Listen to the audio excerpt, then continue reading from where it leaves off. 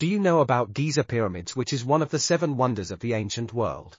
The Giza Pyramids, located near Cairo of Egypt, are awe-inspiring ancient structures that have stood the test of time. Built over 4,500 years ago, these magnificent monuments were constructed as tombs for pharaohs. The largest of the pyramids, the Great Pyramid of Khufu, reaches a height of 455 feet, making it one of the seven wonders of the ancient world.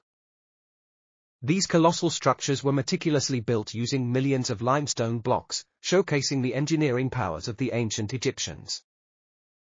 Their enduring mystique and remarkable preservation continue to captivate people worldwide, offering a glimpse into the grandeur of an ancient civilization.